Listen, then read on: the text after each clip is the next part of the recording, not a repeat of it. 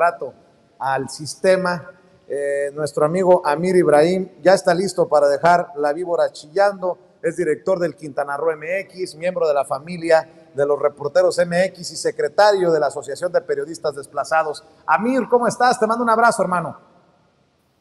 ¿Qué tal, Vicente? Muy buenos eh, días, tardes, noches. Y pues bueno, pues aquí este, dándoles eh, para que estemos aquí en lo más prendidos que podamos, ¿no? A ver si dejamos la víbora chillando el día de hoy, Vicente. Eh, de eso no me queda la menor duda, mi querido Amir Ibrahim. Déjame también saludar al querido Eddie Small, el gurú de la moda, miembro de esta familia sin censura. Querido Eddie, ¿cómo estás? Un abrazo a la distancia.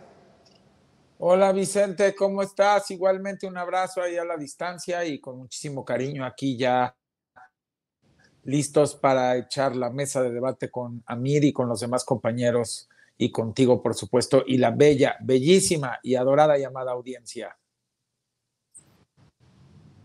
Fíjate que le quiero mandar un saludo a Beatriz Aldaco, a la querida Beatriz Aldaco, directora general del Instituto Sonorense de Cultura, quien creo que está indispuesta esta noche.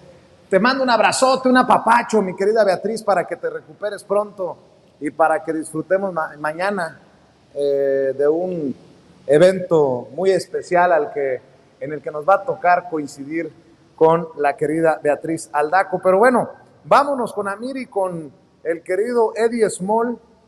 Eh, fíjense, yo no sé si lo notaron, mi querido Amir, pero en medio de tanto ruido, de que si terrorismo, de que si el gobierno fue el, promotor de la violencia de estos últimos días, que si, diría Anabel Hernández o Ricardo Alemán, fue el propio López Obrador el que ordenó que ardiera Tijuana, que ardiera Ciudad Juárez, que ardiera Guanajuato, que ardiera eh, Jalisco. Al que vi muy mesurado, hasta el momento es el embajador de Estados Unidos en México, Ken Salazar. Aseguró que resolver el problema de la inseguridad de nuestro país es más fundamental que otros temas de inquietud. Y yo quiero insistir en que no lo vi eh, gritando que vengan los Black Hawks, ¿cómo se llaman los helicópteros Black Hawks, no? Que vengan eh, los equipos de élite de Estados Unidos porque se está cayendo a pedazos México.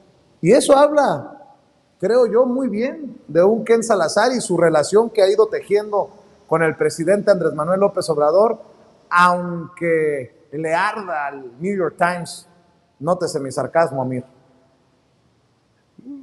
Pues mira, yo sí creo que Ken Salazar ha sido un buen embajador en México. Yo creo que tiene una buena relación con el presidente, con el canciller con las autoridades que debería de tenerlas, este, creo que dice lo que tiene que decir en el momento, no es injerencista, eso creo que eh, es importante, eh, ya lo ha dicho López Obrador, el presidente, muchas veces acerca de estos cancilleres, de estos embajadores, perdón, que eh, vienen de Estados Unidos a tratar de querer meterse en la vida pública del país de que tenemos un problema en el país de inseguridad en cuanto a la, guerra entre las, los, el crimen organizado, pues lo tenemos, ¿no? Las cifras, pues ahí están, ¿no? Eh, sin embargo, también hay que tomar en cuenta lo que se está haciendo, ¿no? Ahorita, a mí, las últimas mañaneras de estas últimas dos semanas se ha venido hablando mucho del tema de seguridad, la creación de la Guardia Nacional. Eh, un dato muy relevante que es bien interesante en el análisis es que la Policía Federal ya 30 mil activos y ahorita eh, la Guardia Nacional tiene 115 mil activos en operativo en las calles.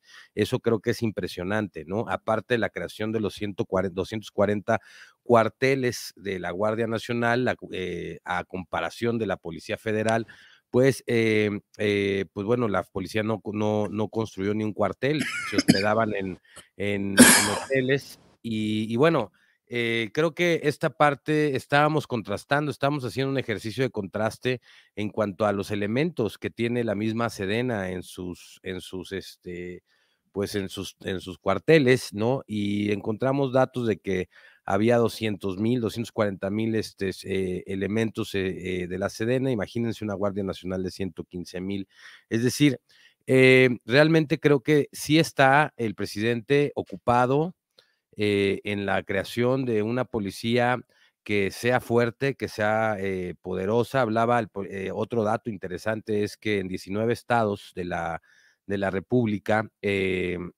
hay más Guardia Nacional que Policía Estatal, por ejemplo, ¿no? Entonces creo que estos datos que son alentadores en cuanto a la creación de una estructura de seguridad pública, que eh, pues pueda contener estas matanzas que tienen entre los grupos eh, delictivos, porque sí hay que recordar que todos estos muertos derivan de eh, pues estas luchas por las plazas, ¿no? De, entre los cárteles. Y bueno, estos tres sucesos que ocurrieron, que ocurrieron de manera seguida en estos tres estados, pues bueno, em, se habló y yo también lo creo que lo quisieron como hacer como muy propagandístico, ¿no? Porque pues incendiaron camiones, oxos, eh, eh, digamos, este, en uno de los hechos, este, incluso escuchaba una entrevista del director general de la radio, en donde, pues, eh, en donde trabajaban lamentablemente estos tres personas que trabajaron en la radio y que pues, decía que básicamente los seleccionaron porque los vieron haciendo una dinámica para regalar unos boletos para un evento y que pues los seleccionaron así, los vieron, se pararon sobre ellos. Y a lo mejor eso quería eh, el crimen hacer como todo el escándalo, ¿no? Eh, que fuera muy, muy magnificado. Claro que esto se coordinó con la estrategia eh, digo, no que se pusieran de acuerdo, pero al surgir estos eventos, la derecha conservadora pues no perdió la oportunidad para querer este, decir que pues ya estábamos nosotros en, una, en un estado eh, fallido, en un estado de ingobernabilidad. La realidad es que... Eh, yo no lo considero, sí, tenemos, sí considero que tenemos problemas de inseguridad, eh, creo que se están atacando las causas, dice el presidente López Obrador, que él trae una estrategia eh, de a largo plazo, porque precisamente lo que él trata de hacer es atacar las causas que generan eh, la violencia y, y, bueno, está tratando de quitarle los miembros a el crimen organizado, dando también oportunidades desde gobierno, apoyos y mejores oportunidades para que de alguna manera pues, los jóvenes decidan ya no ir. Hay que tomar en cuenta, y esto creo que es muy importante, con esto cierro mi comentario, que antes del 2018, eh, lo que nosotros conocíamos como pobreza extrema, que era mucha pobreza extrema en el país, el país de la desigualdad, ¿no? Un 1% la riqueza concentrada en unas cuantas familias, de ahí un pequeño porcentaje de personas este, de... Eh, em, eh, clase media y digamos una pobreza y después una pobreza extrema.